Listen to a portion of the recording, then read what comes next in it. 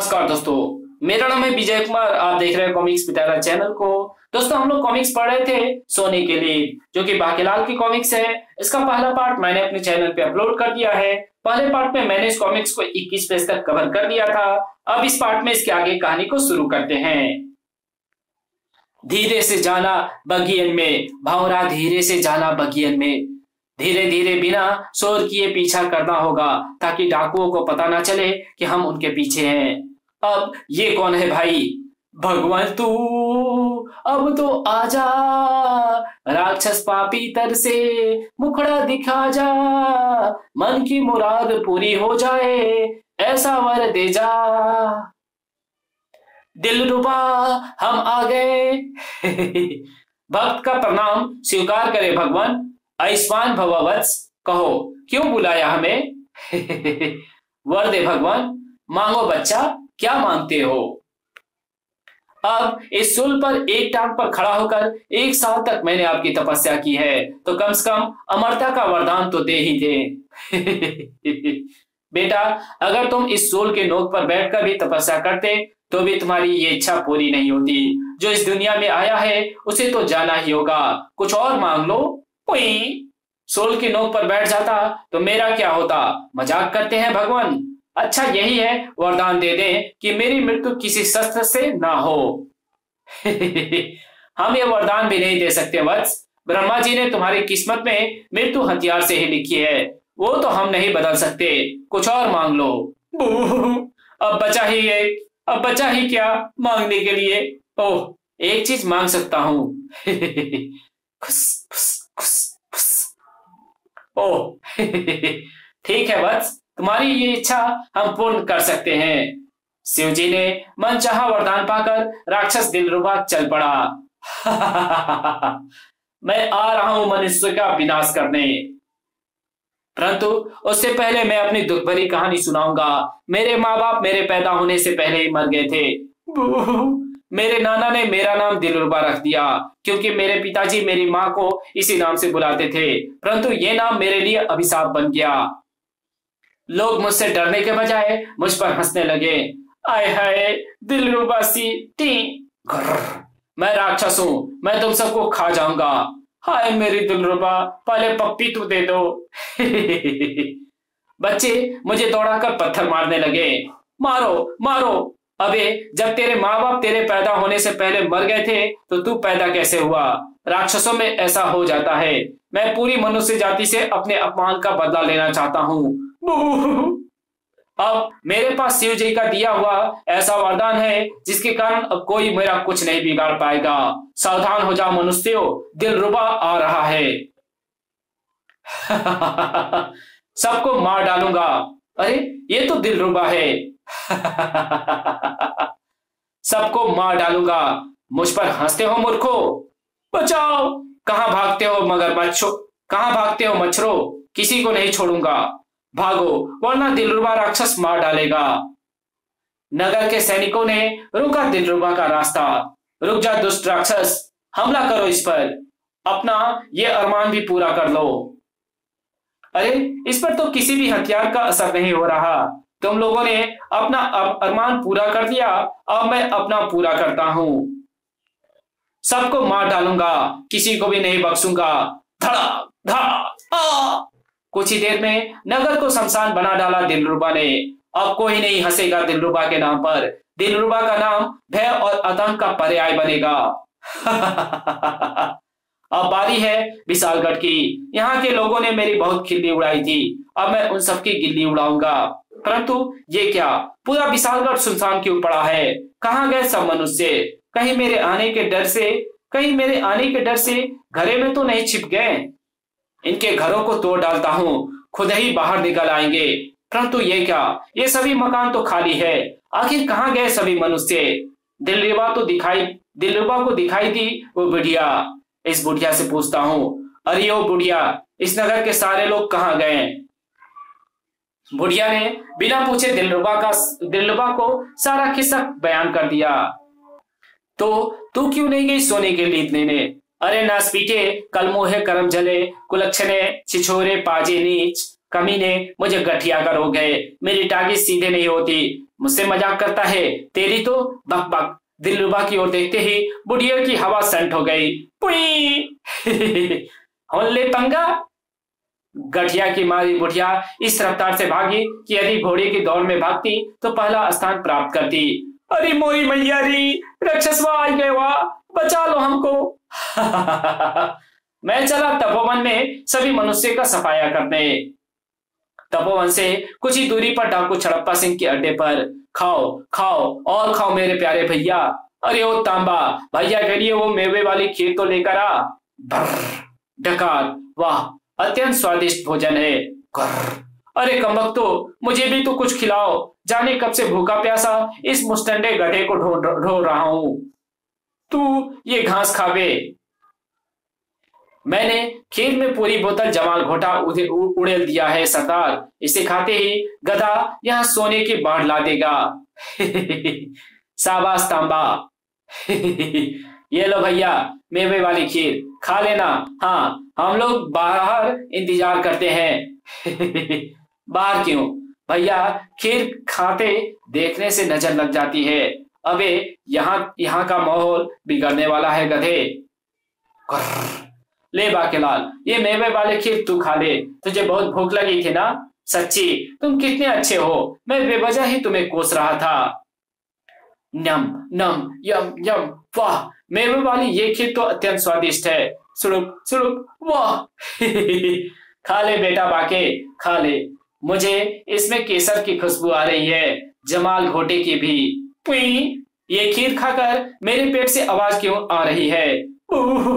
पुई। हाय, क्या मिला दिया था खीर में? कमीनो, मेरे कच्चे में विस्फोट हो रहे हैं। भाग बाकेलाल, झाड़ी के पीछे। आज तेरे कच्चे की इज़्ज़त का सवाल है। सरदार, लगता है खीर गधे की बजाय बाकेलाल ने खा ली है। ये सारा माजरा ऋषियों की टोली और नंबरडीन देख रहे थे। यही वक्त है जब हम बाकीलाल और गधे को डाकुओं से छुड़ाकर अपने कब्जे में ले सकते हैं। मैं अपनी कविता से डाकुओं का ध्यान बटाता हूँ। आप लोग बाकेलाल और गधे को देखिए। नमस्कार बंधुजनों, हम आप सबका अपनी कविताओं से मनोरंजन करने आए हैं। तो आप सबकी खिदमत से तो आप सबकी खिदमत में पेश है। तेरी मेरी बिल्कुल ताज़ा तरीन कविता। वो हसीना, वो नीलम परी, कर गई कैसे जादूगरी? नींद इन आँखों से छीन ली, दिल में बेचैनिया है भरी। हृदय में मेरे हैं दर्दे, नृत्य दर्दे नृत्य दर्दे नृत्य दर्दे। वैसे दर्द तो गठिया का भी होता है। जोड़ों का दर्द, काम का दर्द, अभिमान का दर्द, दांत का दर्द, भाग का दर्द, मार का दर्द, हाल का दर्द, प्यार का दर्द, दिल टूटने का दर्द, सर फूटने का दर्द। तुमने बताया नहीं तांबा कि बसंती का भी इंतज़ाम किया है। अबे, आँखें खोल के देखो सरदार, ये बसंती नहीं, बसंता है। अभी तो मैंने कविता शुरू भी नहीं की, मैं तो गला साफ़ कर रहा था। जब जब तक मेरी सांस चलेगी, मेरी कविता चलेगी। कुछ भी कुछ तो हुआ है, कुछ तो गया है, दो चार दिन से लगता है, ऐसे दमा हुआ है, हैजा हुआ है, कुछ तो हुआ है हुआ है हुआ है। अबे, चुप हो जा। सरदार, बोलो तो इसके पैर के नीचे कांच तोड़ू। इसके मुँह में कांच फोड़। क्या हुआ बाकीलाल? ज़्यादा कर दी क्या? हाय, दम निकल गया। अब तो तुझे ढोने की जान भी नहीं बची है मुझमें कोई बात नहीं, बाकीलाल। हम लोग तुम दोनों को ढो लेंगे चमचमा चमचमा चमचमाचारे पंगाचारे आप लोग पीछे से पकड़े। ज़ोर लगा के दौड़ लगो, ज़ोर लगा के दौड़ दो रिसीवर अरे, कहा ले जा रहे हो कम भक्तो? जुबा पे लगा लगा रे नमक इश्क का है अरे, सरदार, वो देखो, ऋषियों की टोली गधे और बाकीलाल को लेकर भाग रही है। ओह ये सारी चाल थी ये सारी चाल थी हम लोगों का ध्यान बटाने की तांबा घोड़े तैयार करो, पीछा करो उनका, बचने जाने ना पाए। उधर बाकीलाल की खोज में सदल बल जंगल में पहुँचे। सदल बल जंगल में पहुँचे राजा विक्रम सिंह का सामना हो गया, जादूगर गलाटा गुरु से। तो अपने नापाक मंसूबों में कभी कामयाब नहीं हो पाएगा दोस्त जादूगर। सैनिकों, आगे बढ़ो, पकड़ लो इस दुष्ट को। अच्छा हुआ मुच्छर कि तू अपनी पूरी सेना और दरबारियों के साथ ही यहाँ आ गया। वैसे भी तेरे पास ही आ रहा था। अब तेरी मायावी गद अब मेरी मायावी गदा तुम सबको परिलोक परलोक पहुँचा देगी। इसी बात पर बोलो, राम नाम सत्य है। हा हाय, धार हाय। देख लिया अपनी सेना का हाल, अब तेरी बारी है। बाकेलाल का दिमाग घोड़े की तरह दौड़ रहा था। अगर ये सारे ऋषि मुझे पकड़कर ले गए तो इन्हें पता चल गया कि ये गधा सोने के लिए नहीं देता तो ये मुझे तो मुझे ये सारे के सारे श्राप देकर ना जाने क्या बना देंगे। इन सबसे पीछा छुड़ाना ही होगा वाह, सोच गई युक्ति। मेरे पेट में फिर से गड़बड़ शुरू हो गई है ऋषि रिसीवरों। कृपया मुझे नीचे उतारो। अगर हम लोगों ने तुझे उतारा तो तू गधे के साथ भाग जाएगा।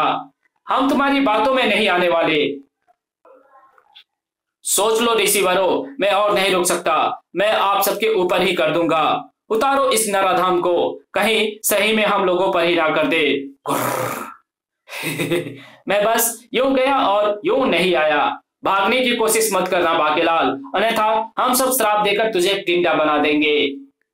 भाग ले बेटा बाके यही मौका है, दुर्की हो ले अरे, ये तो बाकेलाल है। हर बार मेरे हाथ से निकल जाता है, पर इस बार नहीं छोड़ूँगा। ऐसी झप्पी दूँगा कि कचुमर निकल जाएगा पीछे लग लेता हूँ इसके। बाकेलाल को झाड़ी के पीछे गए हुए बहुत वक्त हो गया। कहीं भाग तो नहीं गया? हाँ आ, ना ही आवाज़ आ रही है और ना ही बदबू। तुम झाँक कर देखो ना झाड़ी के पीछे ऋषि तुम झाँक कर देखो ना झाड़ी के पीछे ऋषि पप्पी पहुँचा पप्पी पहुँचा रहे छी छी मेरे लिए यही देखना बाकी बचा है। गर्र तुम ही क्यों नहीं देख लेते पंगाचार्य भड़कते क्यों है? मैं ही देख लेता हूँ। अरे बाकीलाल, यहाँ नहीं है। हमें मूर्ख बनाकर भाग गया वो। जल्दी दौड़ो। ज़्यादा दूर नहीं गया होगा अभी। अपनी धोती उठाकर दौड़ो रिसीवर कहीं पैरों में फंसकर खुल ना जाए। छड़प्पा सिंह भी पीछे नहीं था। छड़प्पा सिंह भी पीछे नहीं था। सरदार, ये तो वही ऋषि है जो गधे और बाकीलाल को लेकर भागे थे। हाँ परंतु लगता है बाकीलाल इनको भी चकमा दे गया। इनके पीछे लग जाओ। विशालगढ़ के नागरिक भी पीछे नहीं थे। इतनी देर से ढूंढ रहे हैं, अभी तक बाकीलाल नहीं मिला। परंतु अच्छा हुआ मुझे तुम लोग मिल गए। अब कोई नहीं बचने वाला मेरे हाथों से। अरे बाप रे, ये तो राक्षस है। सबको मार डालूँगा, कोई नहीं बचेगा। धा, आ, भागो, बचाओ। जा मेरी मायावी गद्दा। कर दे दुश्मन का काम तमाम। फोड़ दे मुच्छर की खोपड़ी। नहीं मुझे बचाओ। कहा मेरे प्यारे बांकू? बाकेला ज़्यादा दूर नहीं था। पुई, ठोकर लग गई। धड़ा, मेरा प्यारा बांकू आ गया। ये क्या हो रहा है? नहीं, ये क्या हो रहा है?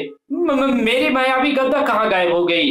हम बताते हैं बच्चा, आज हमारा प्रतिशोध पूरा हो गया। बहुत समय पहले की बात है। अरे, ये तो गधा देव है। भक्तों ने मेरा और मेरे छोटे भाई गदा देव का मंदिर बनवाया, क्योंकि मैं बड़ा था, इसलिए मुझे बड़ा मंदिर मिला, और वो छोटा था, इसलिए उसे छोटा मंदिर मिला। परंतु वो मन ही मन मुझसे ईर्षा करने लगा। मैं अत्यंत शक्तिशाली हूँ, और मुझे मिला ये छोटा मंदिर। मैं अत्यंत शक्तिशाली हूँ और मुझे मिला ये छोटा मंदिर और मेरे भाई को भक्तों ने दे दिया बड़ा मंदिर। इस घोर अपमान का बदला मैं बढ़ के गधा देव से ही लेकर रहूँगा एक दिन देवराज इंद्र ने सभी देवताओं को अप्सरा का नृत्य देखने के लिए स्वर्ग बुलाया। मैं भी सच धज कर पहुँचा। करते मुश्किल जीना हो इश्क कमीना। आइए गधा देव स्वागत है आपका। कृपया आसन ग्रहण करें। मेरे बगल में बैठे बड़े भैया। वाह! अप्सराएँ मुझ पर अवश्य मोहित हो जाएँगी। परंतु मैं बैठ बैठ ही रहा था कि मेरे दुष्ट छोटे भाई ने मेरे आसन के नीचे फुग्गा रख दिया और जैसे मैं बैठा, पुई, एक ही होंदिस। भरे दरबार में मेरी इज़्ज़त टूट गई। सभी मुझ पर हंसने लगे, अप्सराएँ भी हंसने लगी। क्या फटा गधा देव? धोती तो नहीं फट गई। इतनी घोर बेजती और मैंने क्रोध में अपने छोटे भाई को श्राप दे डाला। छोटे, तूने अपनी शक्ति के घमंड में चूर होकर भरी सभा में अपने बड़े भाई का अपमान किया। जा, मैं तुझे साफ़ देता हूँ कि जिस शक्ति पर तुझे इतना अभिमान है, वो मेरी शक्ति के सामने छीन पड़ जाएगी। जब भी तू अपने वरदान से किसी को गधाधारी बनाएगा, तब कोई मेरी शक्ति गधे को धारण कर बनेगा गधाधारी और जैसे ही तेरे गधा मेरे गधे के सामने पड़ेगा, वो अपनी शक्ति खोकर विलीन हो जाएगा। हूँ। इसलिए जब गलाल जब गलाटा गुरु बना गधाधारी तो बाकेलाल बना गधाधारी और जैसे ही मेरी शक्ति गधे को उठाए हुए बाकेलाल जादूगर के सामने आया, श्राप के कारण मैं अभी गधा गायब हो गया। अच्छा भाई हुनप्पा चलते हैं गया बेटा घर सत्यनाश, अगर मुझे पता होता कि जादूगर मुच्छर की खोपड़ी फोड़ने आ रहा है तो मैं इतनी जहमत क्यों उठाता? इस कमबख्त बाकीलाल की वजह से मेरे सारे मंसूबे बर्बाद हो गए। मैं उसे नहीं छोड़ूँगा। की हूँ बाकीलाल जल्दी कर। मेरी लीड इसके मुँह पर मार। बाकीलाल ने गधे की लीड गलाटा गुरु के मुँह पर दे मारी। अरे ये तो मर, ये तो सो गया। बाकीलाल मैंने कहा था ना कि मैं सोने की लीड देता हूँ। मेरे लीड यदि किसी के मुँह पर मल दो तो वो सारी उम्र सोता रहेगा। तभी वहाँ पहुँचा राक्षस झप्पी पाई। चड्डी में और लीद में, चड्डी में और लीद भी नहीं है। अब तू मुझसे नहीं बच पाएगा बोधी वाले। अब तो तुझे झप्पी देकर ही रहूँगा। अरे बाप रे, राक्षस! गधे के बच्चे फटाफट लीद कर दे। मैं इसके मुँह पर मल दू। बाकीलाल मेरा धारक सिर्फ़ एक बार ही मेरी शक्ति का उपयोग कर सकता है, जो तूने कर दिया। अब मैं चला। बेटा गर्ग बाकेलाल के पीछे पड़े ऋषिगण भी उसी ओर आ रहे थे। उधर से कुछ आवाज़ें आ रही है। लगता है बाकेलाल उधर ही गया है। ठक। ऋषि पाँव अचारे को लगी पत्थर से ठोकर और ऋषि पाँव अचारे विमान बन गए। अरे ये क्या? उड़ने वाला ऋषि? ऋषि पप, पप्पी पाँव अचारे हैं? ये ऋषि चोच निकाल कर मेरी ओर क्यों आ रहा है? चुम्मा। हाय ये क्या हो गया? चोच वाले ऋषि ने मेरा चुम्मा ले लिया? लूट गई राक्षस की इज़्ज़त। आ, हाय, मेरी मृत्यु किसी ऋषि की पप्पी से ही होनी थी। अच्छा भाई होनप्पा चलने पे हंगे आ। थू थू, हम भ्रष्ट हो गए। परंतु मुसीबतें अभी टली नहीं थी। सबको कचरा दूँगा। सबको कचर दूँगा। दुआई है महाराज दुआई है, हमें बचाएँ। दुष्ट राक्षस दिलरुबा हम सबको मारने आ रहा है। ये सब क्या हो रहा है? मुसीबत पर मुसीबत आ रही है। ये सब मेरी फूटी किस्मत का प्रकोप है मुच्छर महाराज। कोई नहीं बचेगा। तुम में से सबको मार डालेगा दिलरुबा। बाकेलाल, हुन सकता की हूँ। यही वक्त था जब ऋषियों का पीछा करते डाकू भी वहाँ पहुँचे। सरदार, झाड़ी के उस पार बहुत भीड़ दिखती है। लगता है गधा वही है। तो फिर देर कैसी? चलो। परंतु छड़प्पा सिंह के साथ भी वही हुआ। अबे, ये क्या हो रिया है? हैं? ये क्या? एक और उड़ता हुआ मनुष्य? ले ली दुलरुबा की, ले ली दुलरुबा की जान। अब ये कैसे हो सकता है? ये तो रामलीला की नौटंकी वाली तलवार है। जब भगवान शिव से मुझे पता चला कि मेरी मृत्यु हथियार से होने ही लिखी है तो मैंने उसे यह वरदान मांगा कि मेरी मृत्यु किसी भी असली हथियार से ना हो, बल्कि नौटंकियों से, बल्कि नौटंकियों में इस्तेमाल होने वाले नकली हथियार से हो। मैंने सोचा कि राक्षस को सामने देखकर भला कौन मूर्ख उस पर नकली तलवार से हमला करेगा, परंतु मुझे क्या पता था कि मेरा अंत ऐसे ही होगा। अच्छा भाई, लोगों, अप्पा भी चलते पे हैंगे हिच? इसी बात पर बोलो, राम नाम मुर्दा साला भाई, वाह, सारे खतरे टल गए। बाकी दे पुच्ची दूषित कर दिया। महाराज, कभी तो लिहाज कर दिया कीजिए, बाकी अभी निर्वस्त्र है। इसी के साथ ये कहानी समाप्त हुई। तो मिलेंगे आपसे एक और नई कॉमिक्स में। तब तक के लिए बाय और हाँ इस वीडियोस में थोड़ा सा बाहर की भी आवाज़ें थोड़ी सी आ रही है। तो इसके लिए सॉरी और मैं ये सब वीडियोस जो है, बहुत जल्दी जल्दी रिकॉर्ड कर रहा हूँ। और चूँकि मैं अभी अपने घर आया हूँ, इसलिए थोड़ी बहुत बच्चों की आवाज़ें आ रही है और बच्चे सभी छुट्टी में है। और अभी कोरोना का मामला बढ़ता जा रहा है। ओके तो प्लीज़ आप इसको इग्नोर करके इस वीडियो को लाइक करेंगे और जहाँ ज़रूरत होगी वहाँ शेयर करेंगे। Thanks for watching my videos